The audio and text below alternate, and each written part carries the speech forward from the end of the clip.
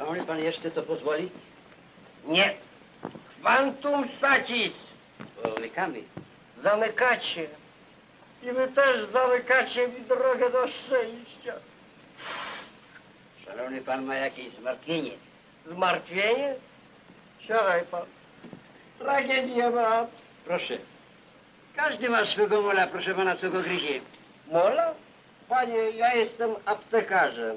Na mole mam środki. Naftalina, flit, antimolina, katol. Ale ten mól, co mi w sercu sprawił ból, to dwunożny ból. Znakiem tego kobieta. Była kobietą. Teraz jest mężczyzną. Przepraszam, ale nie rozumiem. Ja pana nie przepraszam, ale też nie rozumiem.